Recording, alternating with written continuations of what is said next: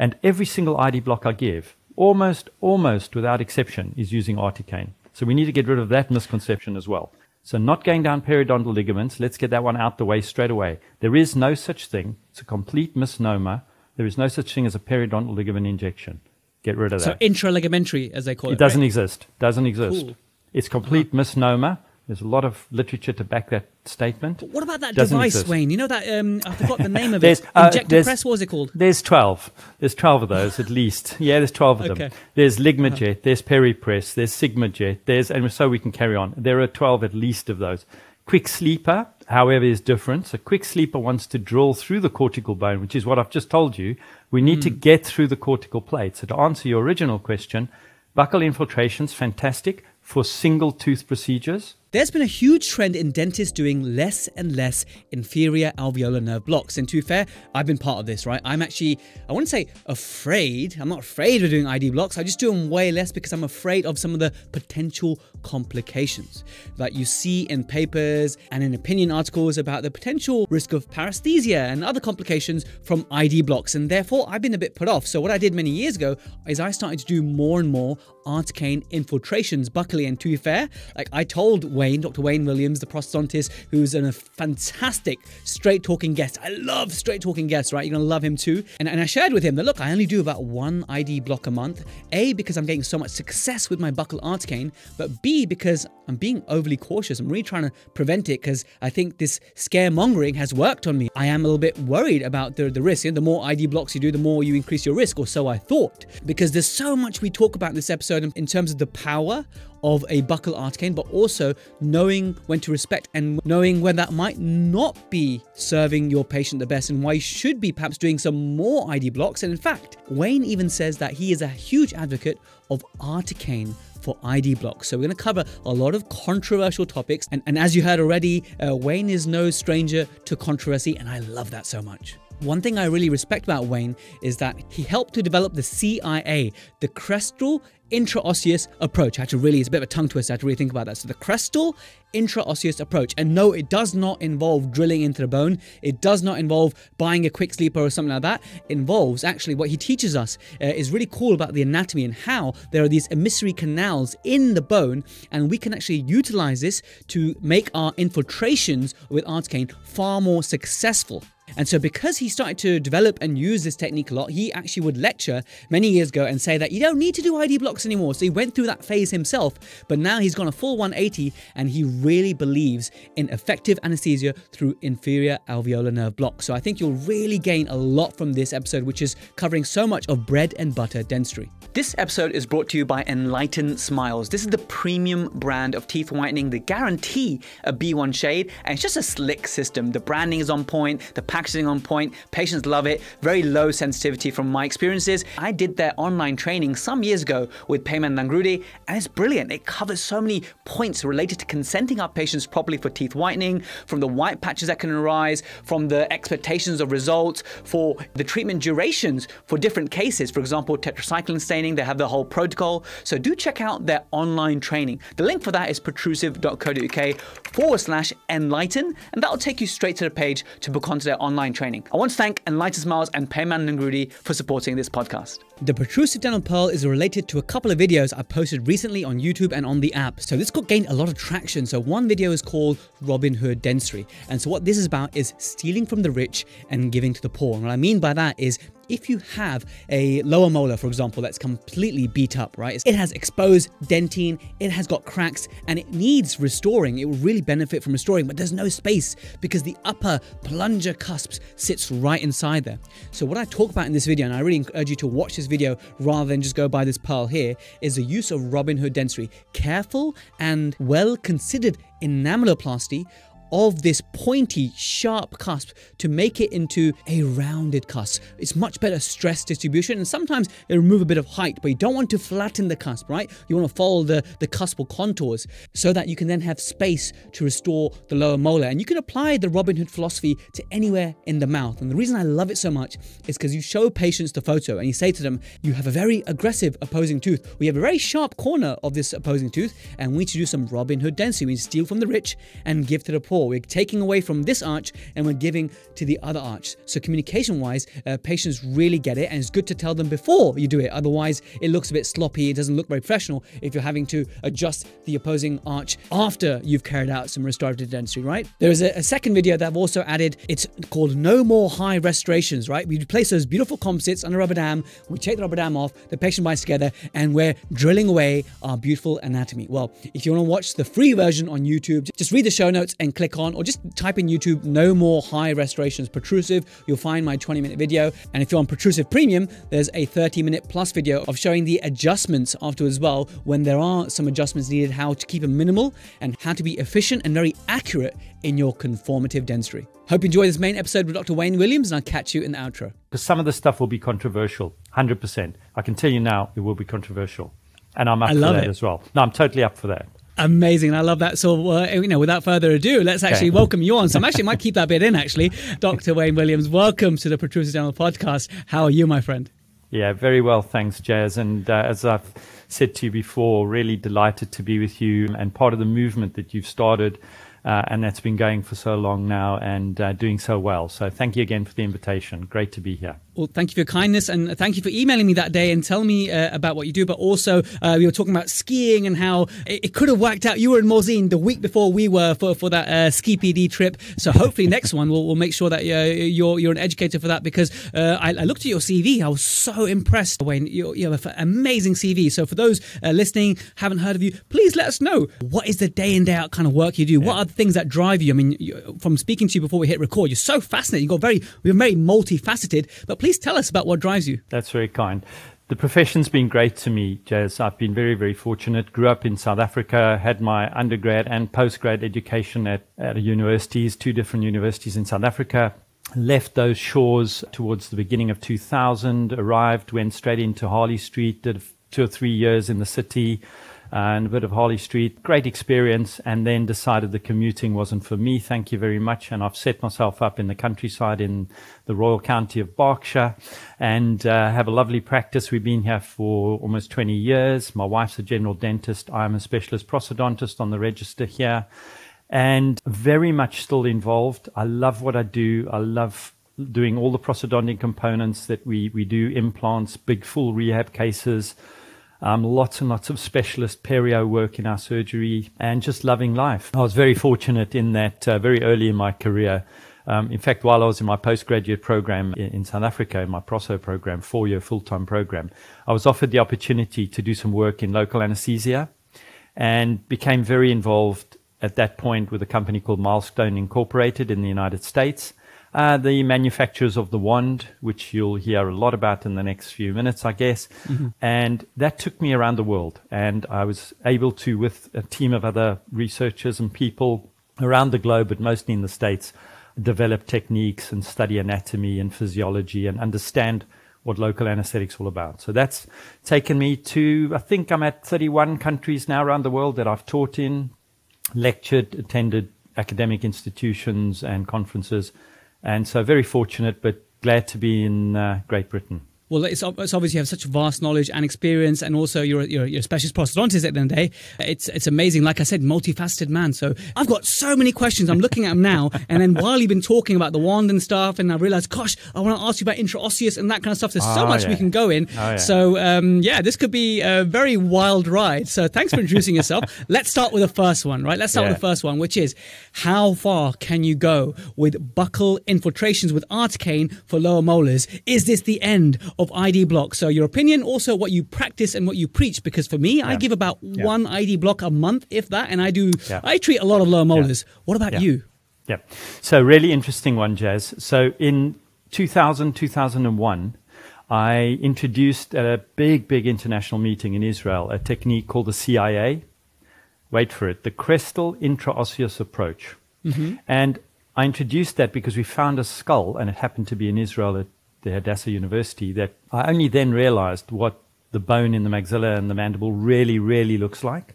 And to answer your question, if you've got thick buccal plates, and we know that the buccal plates along the mandible are of our thickest bone in the body because it's our protective sort of zone, to try and get local anesthetic to infiltrate through dense cortical bone, not so easy. What a lot of mm-hmm. people don't fully appreciate either is, in my experience over these years, is we're dealing with a drug that's been given in the buccal sulcus into what's called a supraperiosteal environment. So the a mm-hmm. buccal infiltration, the correct terminology is a supraperiosteal infiltration, an SPI. SPI. Mm-hmm. And you're hoping that that drug will go through the bone. And the reason people are using articaine for that purpose is it's 4% concentrated, meaning it's got double the dose. Not because again, you ask people, what's the difference between 4% articaine and 2% lidocaine? And people go, mm-hmm. 2%. Well, it's not, it's 100%. It's 100% mm-hmm, mm-hmm. percent more. 4% is 100% more than 2%. And basically, we're using articaine for a reason because we want that strong concentration. We hope, we kind of wish it to go through that buccal cortical plate. Not so much, sadly to say. What actually happens is, what actually happens is, if you're dealing with a young patient and it's highly porous, it'll go through and you'll have a lot more success. And it's a great technique and it's one you should be using. It's one I use regularly. It depends Mm-hmm. on what procedure you're doing. If you're dealing with a hot tooth, less successful. If Yes. you're dealing with a small DO or MO restoration, highly successful. Sometimes those restorations you could have done without the anesthetic anyway. So it's kind of a placebo sometimes. We don't always realize it. What is guaranteed is the next time you get a chance, go online. If you come to one of my lectures, come to one of my presentations, you'll see slides of many, many skulls. On the crest of the mandible is a massive open area with holes in it. And drop your anesthetic mm-hmm. in there, it goes straight down into the medullary part of the bone and gets to the nerves of the teeth. So rather than coming in buccally, I'm going in crestal intraosseous approach. So not going down periodontal ligaments. Let's get that one out the way straight away. There is no such thing. It's a complete misnomer. There is no such thing as a periodontal ligament injection. Get rid of So that. So intraligamentary, as they call it. it doesn't right? exist. Doesn't exist. Cool. It's complete misnomer. There's a lot of literature to back that statement. What about that Doesn't device, exist. Wayne? You know that um, I forgot the name of it. uh, Injector press. What was it called? There's 12. There's 12 of those at least. Yeah, there's 12 of them. Okay. Uh-huh. There's Ligmajet, there's Peripress, there's Sigmajet, there's, and so we can carry on. There are 12 at least of those. Quick Sleeper, however, is different. So Quick Sleeper wants to drill through the cortical bone, which is what I've just told you. We need Hmm. to get through the cortical plate. So to answer your original question, buccal infiltration's fantastic for single tooth procedures, not for multiple tooth procedures. So this type of intraosseous anesthetic works for limited times. In my experience and research, 30 minutes. So you go in, you go out, you're out. As soon as I start treating more than two or three teeth in an arch, I'm giving an ID Wait, you, block. you said intraosseous a second ago. Do you mean sub supraperiosteal? You mean? No. So I'm still going. I never, I hardly ever give in the buccal sulcus unless I'm doing a very minor procedure. I'll always put the uh-huh. needle intracrestal between the two teeth, distal to the one that I'm actually an- anesthetizing, because the nerve mm-hmm. comes from the from the posterior. So I use a technique called the CIA crestal intraosseous approach for all my single tooth anesthesia in the mandible, in the posterior mm-hmm. segments, and the anterior segments for that matter because the anterior segment is often more difficult to anesthetize because the cortical plate here is even thicker in some of these areas. So I think a lot of the time we do get success. In fact, the majority of buccal infiltration, supraperiosteal, albeit, but with limited time frames to the success of that. And also, if you're dealing with hot teeth or teeth that require mm-hmm. acute treatment, you're less likely to be successful. But also, I think one has to just be selective with which teeth Yes, you're I mean treating. anyone But with you- a large masseters, big square jaw. Uh, I, I'm going to be going for the ID block, uh, uh, and also for yeah multiple restorations. uh, it has been my experience as well, and of course the, the hot pulp, uh, all those things you mentioned. But if you talk about the crestal injection technique that you said, I Cre- forgot the full name of it already. CIA, CIA. crestal, So crestal you- intraosseous approach. Fine. So uh, you're putting the needle in from the top, and are you going into the attached gingiva or the uh, mucogingival junction or the alveolar lining? Imagine the papilla Uh-huh, into yes. the so-called col area, C-O-L. Yes, yes, yes. If you go back to periodontal so you want to just see it blanch. It'll start to blanch buccal and lingual. The spread Mm-hmm. of that anesthetic, if it's got a vaso, and that's the other thing, you must use a vasoconstrictor Yep. for all those techniques. If you're using a non-vasoconstrictor, very limited, five minutes duration on average.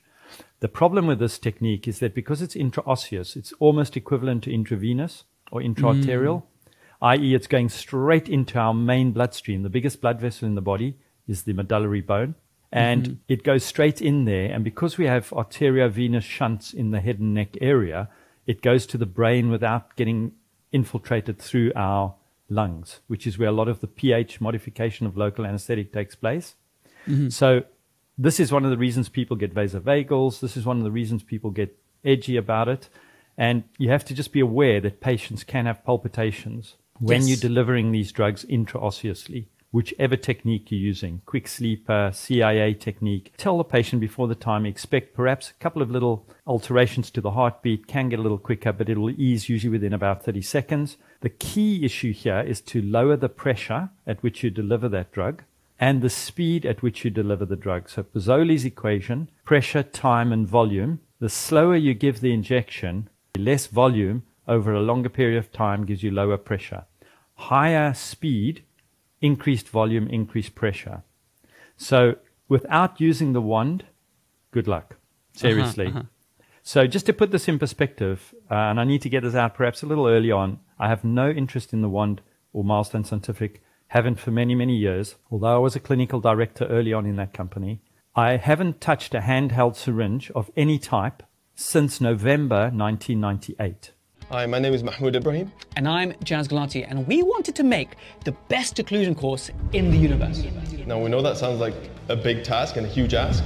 But we did I it. think we did it. We did it. We finally made OBAB occlusion, basics, and beyond. And we've really, really worked our butts off to give you an occlusion course that is going to be applicable to real world dentistry. So, what's included in this pre launch deal? Well, we've got five different things for you. First of all is the OBAB starter kit. We're going to send you a starter kit so you can start implementing the concepts we're going to teach you straight away on Monday morning. It's got a Huffman leaf gauge we imported from the US, and this is our favorite leaf gauge. It's also got a pack of shim stock in it, so you don't have to use your fat fingers every time. We're going to send you a pair of Miller forceps as well. The starter kit is worth £100 and we'll start shipping it once the course access begins on 7th of April. I think really anyone interested in occlusion, whether you are at the beginning of your career, in the middle, or even getting towards the end, uh, would learn a huge amount from this particular program. The second benefit of this pre-launch deal is we're going to give you £500 off of the cost of the course. And you can take our word for it that we're never going to price it this low ever again. And this course truly has an unbelievable return on investment. The third benefit of the pre launch deal is that instead of getting 12 months of access, we're going to extend that so you get two whole years of OBAB. And that's at no extra charge. And we're to be adding lots of new cases and content as we go. I felt like I finally understood topics that I just struggled to wrap my head around for years. Um, and that's purely down to the way in which the content's delivered. The fourth benefit of this pre-launch deal is you'll get one fully mentored case with us included. That I think is, is massive. So we've set up a case forum and you can submit your cases for mentorship. So you get one fully mentored case at no additional cost worth £550. We're here to help and we want to help you through your cases and want to hold your hand through some of these cases. And you have the opportunity to do that without feeling bad as part of a structured and organized way. Now last but not least, it's the OBAB book. Now this is going to be a fantastic companion to the online course. and it's got the world's first visual glossary of occlusion. This is going to blow your mind. It's going to explain occlusion to you like you're five years old. Fairly advanced five-year-old.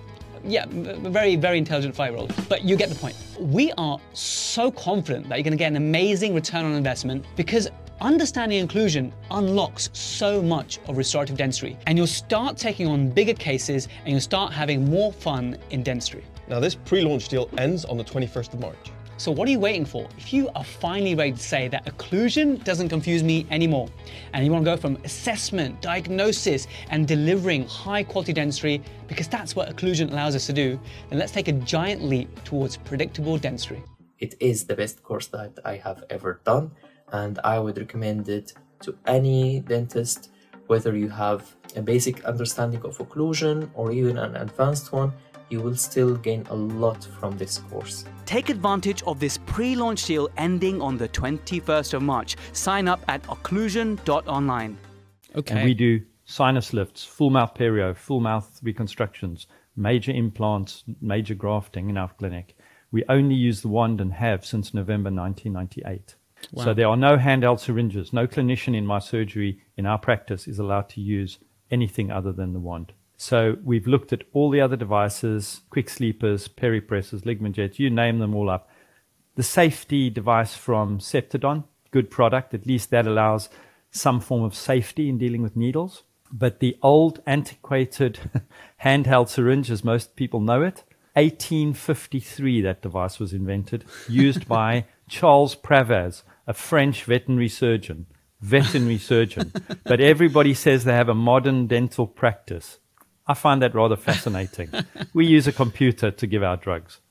But Very the point good. going back to the CIA is any intraosseous technique you're using, you need to be controlling. And you'll know when you press on your syringe and you're in those areas, you have to press pretty hard. You're going to develop carpal tunnel syndrome at some point. You're going to have sore mm-hmm. fingers and sore wrists at the end of that day. But imagine the pressure. And myself and Mark Hochman in the States have been the only publishers. We've measured all those pressures within the body for all these techniques. Wow, we generate some serious pressures, and no wonder patients have postoperative pain when you're using these intraosseous techniques. If you're subperiosteal, so in the palate and in the buccal sulcus, if you do go subperiosteal in the buccal sulcus, and you manage to get that blanching and the pushing away of the periosteum from the cortical bone, that builds up uh, a lot of pressure, Jaz, and um, creates some pain. Look, I, I agree with you, and it's something that I, I do do. I must admit, uh, and I might change my practice after speaking with you. But you know, I, I've seen the I've seen the downsides of this, uh, Wayne. I've seen two ladies who came back with bruising down their neck before. Okay, so I, I've, I don't know if you've seen that, probably because you know, you're, you're using the ones who probably haven't, maybe We pre one no. days. But Yeah. you know, I've, uh, thousands of patients, but it's still upsetting to me. So I did change my practice after that, really making sure that the, the pressure element is respected. But usually, what I do is uh, I do give it uh, in the supraperiosteal, as you said, but then also into the attached gingiva and also mesial and, and distal in those right cases that benefit. Fantastic. So uh, yeah, is there any way that uh, you know so we can keep it safe? Drop the subperiosteal part because all that's doing is it is giving you soft tissue anesthesia. So for your cord packing or raising a flap or anything of that nature, but the other bit will be the bit getting to the nerve of the tooth. Always remember where the nerve enters the tooth. Mm-hmm. That's where you've got to get the needle. And so my whole start to all of this 20 plus 25 years ago was understanding flow dynamics in the human body. So I started studying what happens to that drop of liquid that comes out of the end of a needle, irrespective of what device you're using. I started by studying the flow dynamics of those liquids.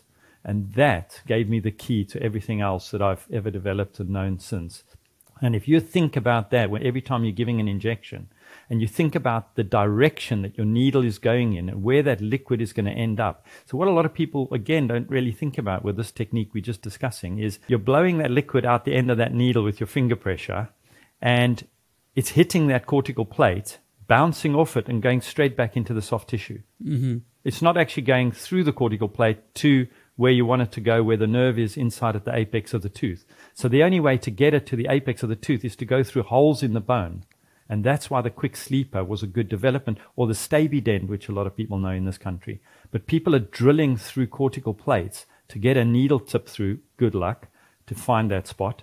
However, if we look at the anatomy carefully, and we should all go back and look at anatomy if you want to think about good local anesthesia, then look at the crestal aspect of the mandible. There are holes waiting to be put through, and that's where we should be putting the needle.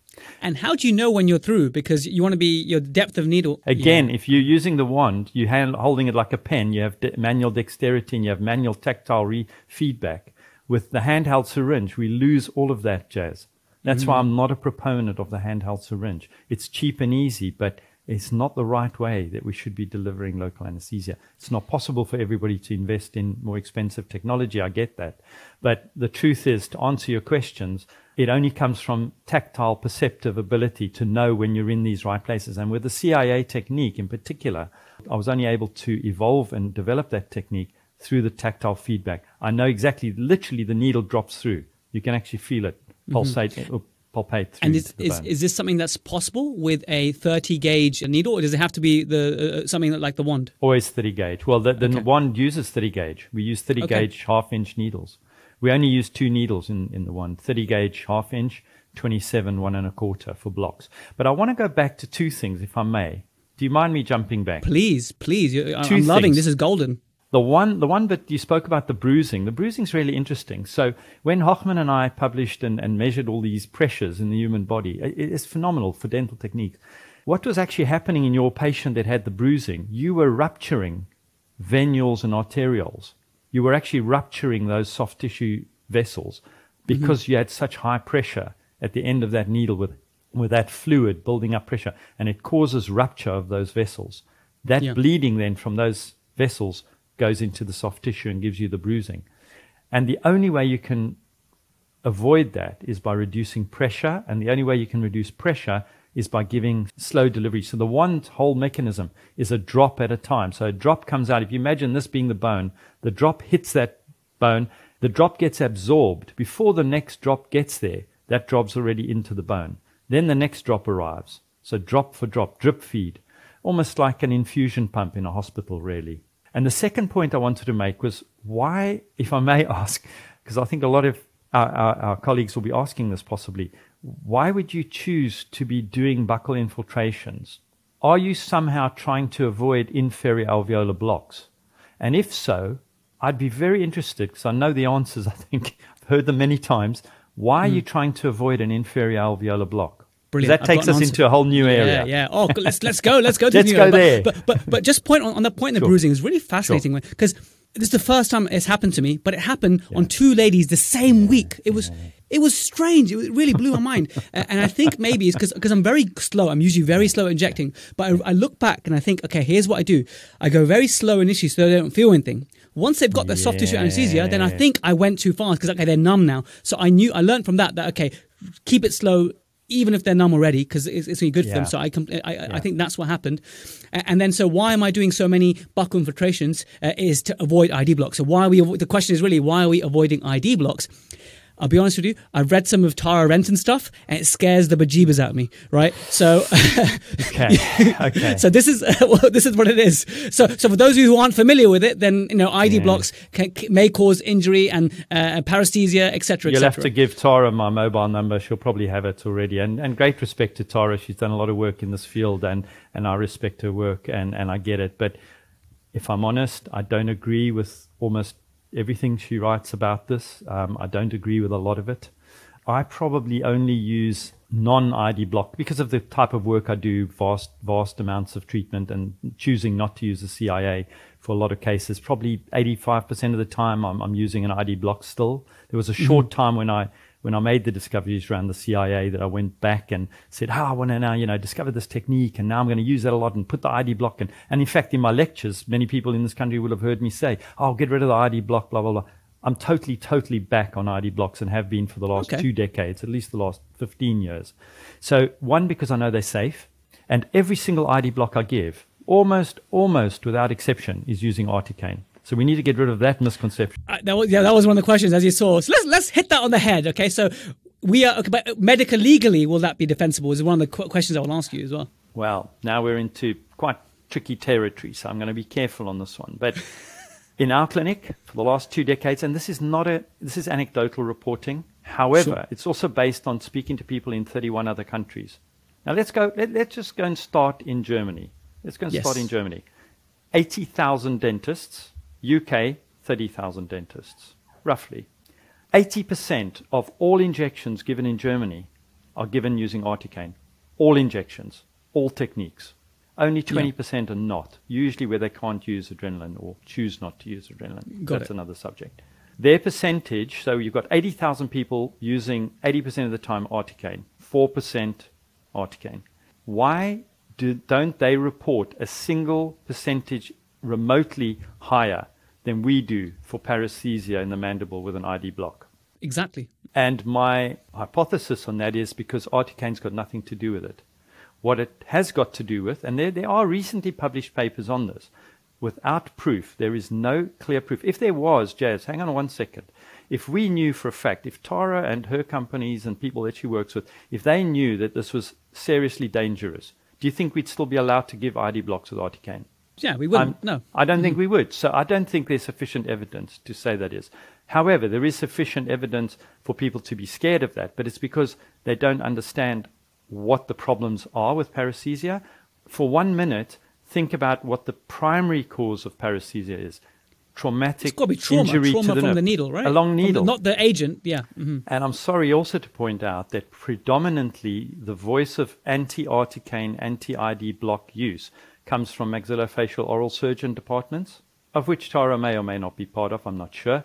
But the truth is, are they not perhaps looking for alternative reasons for the cause of that trauma Mm-hmm. or the reason for the cause of the paresthesia and how can we ever prove whether a needle has hit that nerve or not? And how can we ever prove whether it is with lidocaine, articaine, mepivacaine, anything else, what actually causes that? And that's part of the problem here. So I'm not suggesting for a minute that people should just, at a whim, start using articaine for, for all their ID blocks. They need to check this for themselves. In my clinic, after a long, long time, I'm 58 years old, I've, and I work every single day, four and a half days a week now, but predominantly six days a week for a long time, doing lots and lots and lots of ID blocks, only using articaine.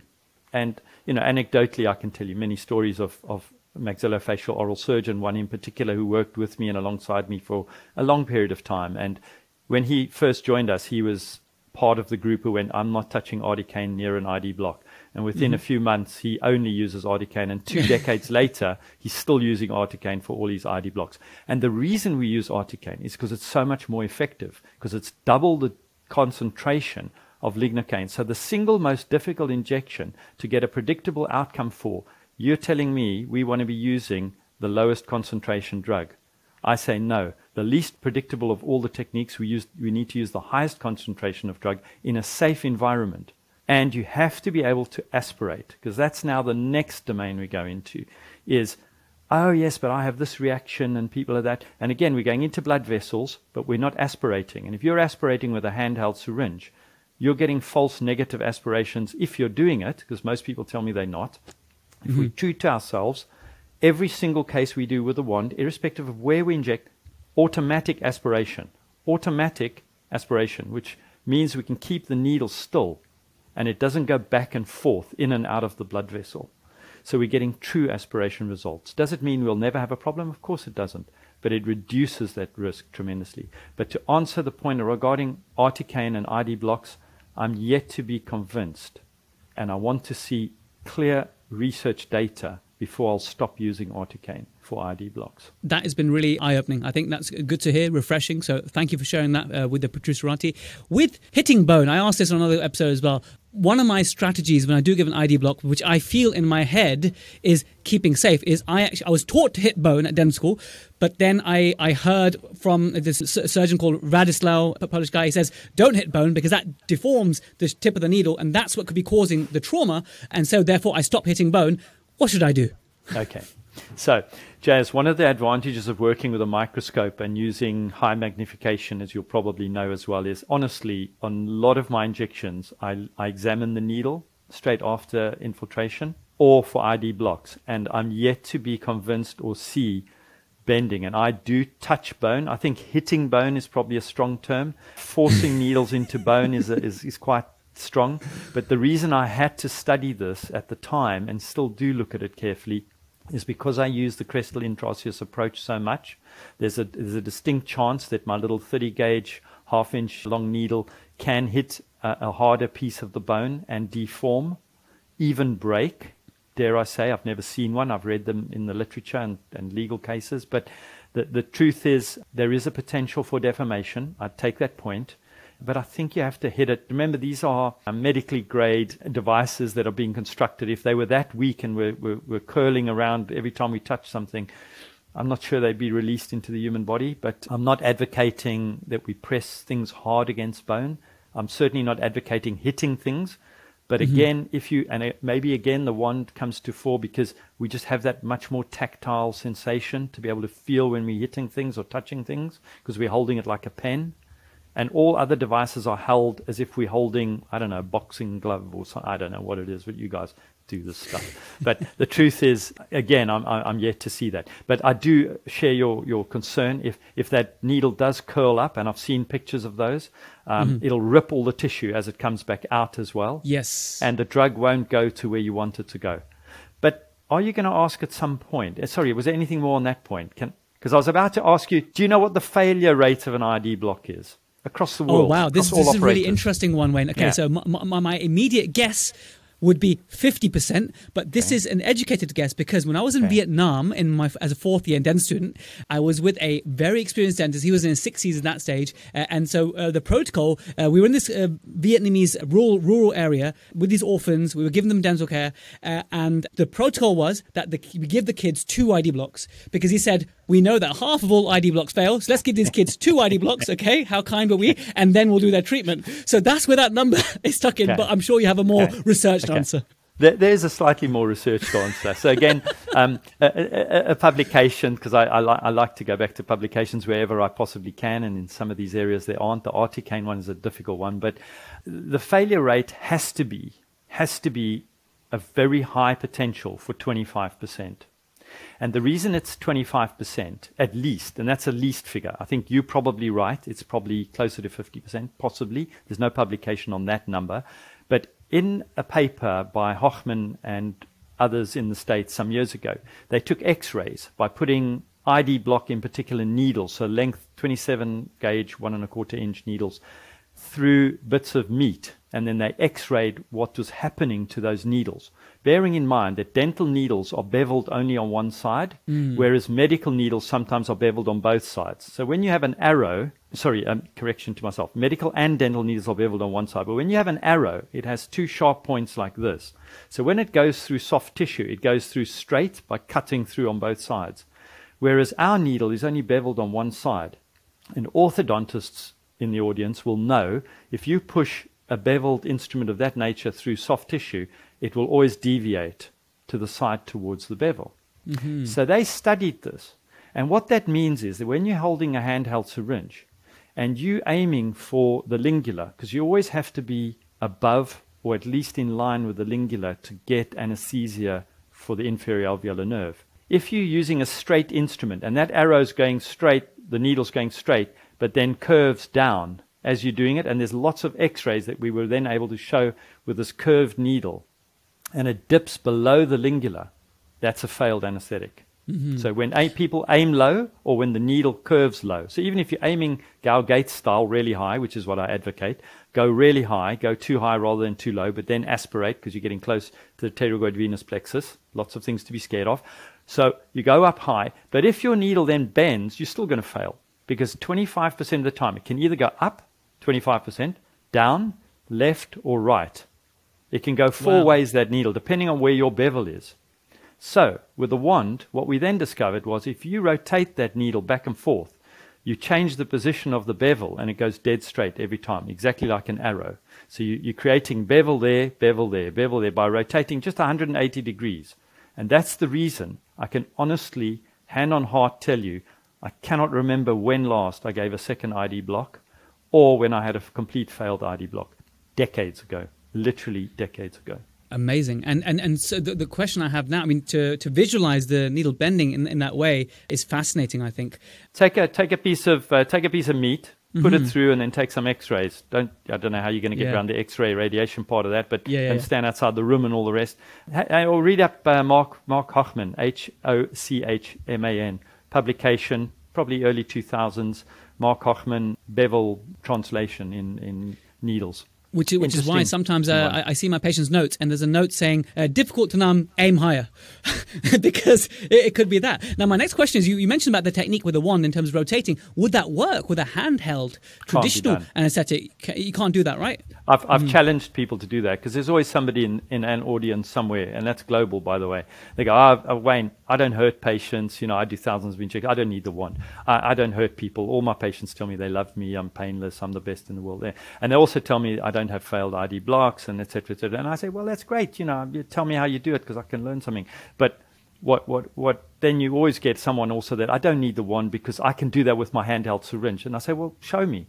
And it's just physically, give it a try for yourself. If you can, Yeah, let me know because I'd love to learn that technique and, you know, put myself wrong. But um, honestly, it's, it's physically impossible with a, with a, and, and whether that's a safety injection or whether it's a handheld syringe, whichever, especially the Mm. 1853 Charles Pravaz one, that, that's impossible. Brilliant. Uh, next question, I guess, in, in, in the theme of anesthesia failing, uh, is I was at a lecture by uh, my friend uh, Lincoln Harris, uh, and he mentioned yeah. interesting things uh, about redheads, which I knew already. Um, Yeah. red, you know, Yeah. people with redheads, they're Yeah. they're more difficult to numb, but Yeah. also uh, large heads, because large Yeah. heads have large bones. So, Yeah. should we fear the large-headed redhead? Uh, is, is, it, is that a, tr- true or false? Is that a myth or is that, is that real? Uh, and any strategies to help the large-headed redhead if it's true? Well, there we have it, guys. Thank you so much for listening all the way to the end. And because you made it to the end, if you're Protrusive Premium, answer a few questions based on this very engaging, very real world episode, and you can gain some CPD. How good is that? So if you're not already on the app, head to protrusive.app on your browser,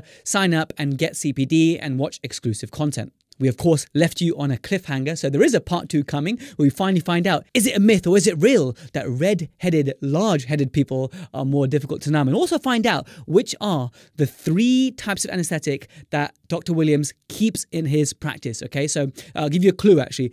Out of mepivacaine, i.e., Scandonest, lidocaine, and Citanest. We already know he uses Articaine, okay? Out of those three, okay, so Citanest, Lidocaine, and Mepivacaine, one of them he thinks is absolutely useless as we and we shouldn't be using it. So you'll find out which one that is next time as well. And if you're listening to this and it happens to be before the 21st of March, then this is your final chance to get access to OBAB for two whole years and get a fully mentored case worth £550. Thereafter, you'll have to pay for mentored case support, right? So in the discussions, yeah, we'll support you all day, all night. But if you want us to spend time to go through fully your case and give you structured feedback, then we will do that. But that's a paid feature. If you want one fully mentored case, then that is available if you enroll before the 21st of March. So hope to see you there, and we'll catch you in part two of this episode.